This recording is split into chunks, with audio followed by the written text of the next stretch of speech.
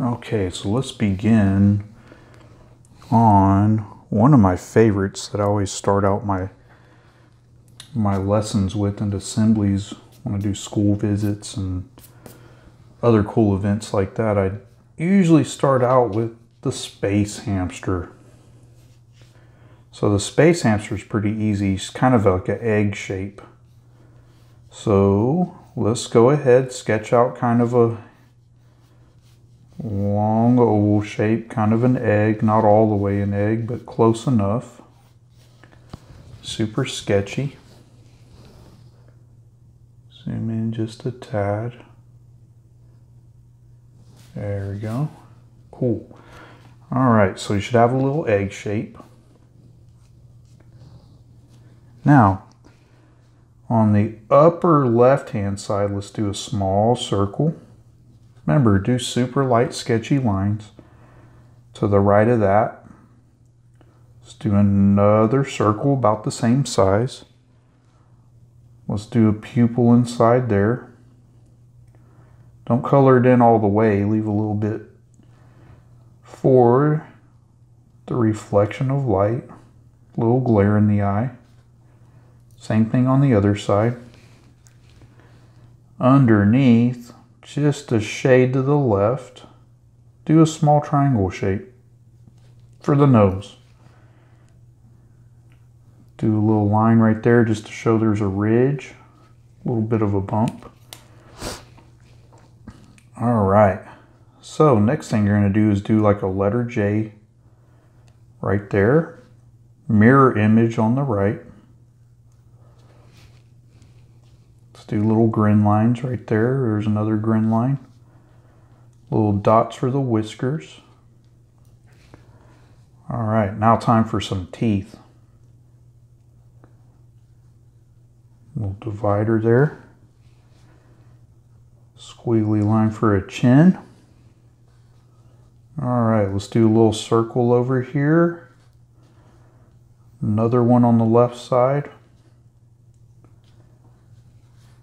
And we're going to do another one over here. The bottom, kind of a, a oval laying on its side, or an egg laying on its side. Do the same thing over here. A little sunk in just to show a little depth. Y'all are doing awesome. Super easy to follow along when you just get your hand loose and you're sketching. All right, so now we have some sketchy lines we can erase as we go. But let's go ahead and add some details. Then we can erase those straight lines. So let's let's go ahead and add some furry texture. See that? Just little squiggle lines. Let's go in there, add a little dip for the ear. Same thing over here. Let's just enough little squiggly lines for texture for fur. In the middle, we can maybe add a little tuft of hair right there. Maybe you want to give this guy some eyebrows. That'd be something cool to give him. Squiggly lines in here for some more fur. Furry lines there, a little under the tummy. Go ahead and darken the foot up some. Let's add some toe lines. There's one and there's two.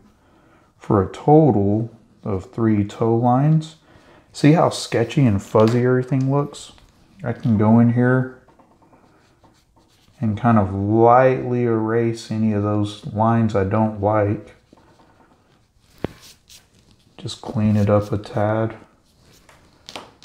Remember, the key is to not pressing hard at the start. That way you can get rid of any of your original sketchy lines that you don't want to keep. All right. Go over that chin a little bit more. Darken that eye some. Same thing for this one.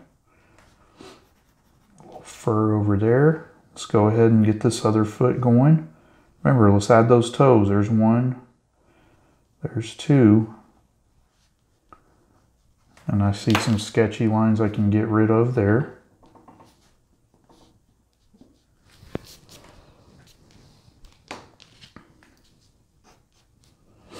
Okay, now to make this guy a space hamster, he needs some kind of apparatus to help him breathe some. So what I came up with this guy is just a little fishbowl helmet.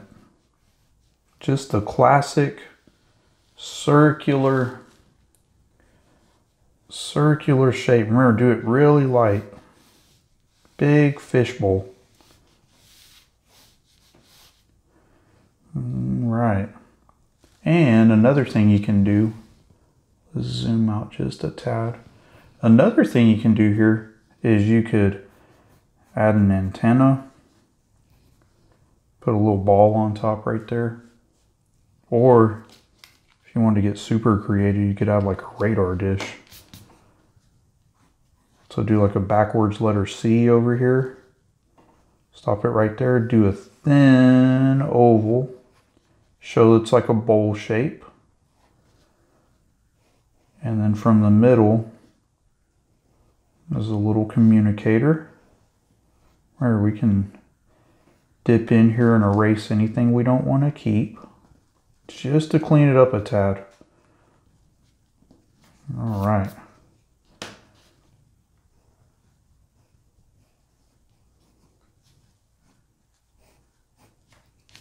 Same goes for this helmet. We'll go back over it. Get rid of these stray lines here. All right, let's trace over.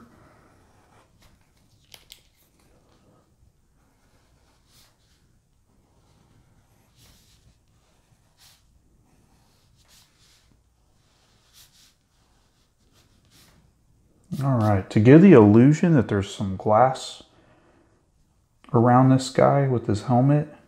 Can add a little reflection right there. a little bit over there, another one down here, just to show he has some glass around him. He can breathe a little better. Whatever surface he's on, whatever planet he's visiting next. Maybe you can make a cool comic book about this guy. If you do, please send it to me. That would be really cool. Go to my website and send me any cool comics. I'll post your artwork on my website and on my Facebook page, all kinds of cool places. All right, so, oops, bumped my camera here. So the next thing we're gonna do is we're gonna shade up this little guy. So we shade him up we shade them up. We're going to use some blenders. And I typically use these little guys right here. Just something like that size is cool. You can get these at any art store or any craft store in your community. But if you want to add some dimension, you can just shade a tad. Let's say the light's coming from here with this guy. We can shade in here and let's just go ahead. Add a little bit of shading there and there. Maybe a little bit under the eyes. And what's really cool is you can even give them like, see, you can give them other definition that wasn't even drawn in their little cheeks. There's so much cool stuff you can do with pencil. I love blending with pencil. Look at those cheeks. A little bit under here. A little bit under the teeth. A little bit under over here on this bowl. Right there. The idea is to have your shadows in the right places. Give this guy the illusion that he has some depth, that he's three-dimensional. Where the light's not hitting, I'm just focusing on those areas. And if you want a little bit more shadow, you can always sketch in right there with a little bit more line. You'll get more lead to spread around on your picture. All right, let's go into these toes, into the feet. You can always go back over anything that blended if you wanted a little more definition on those toes, if they disappear some. You can always go back in and darken it up with your pencil. All right. So this guy's starting to look pretty nice, isn't he?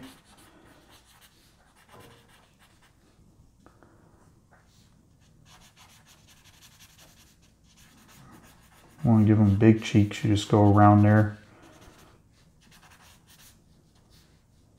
And this guy is pretty much done. If you want to get really creative, you can add maybe some craters on the side. Do some skinny, skinny ovals there. Add a crater. See that? Little lines.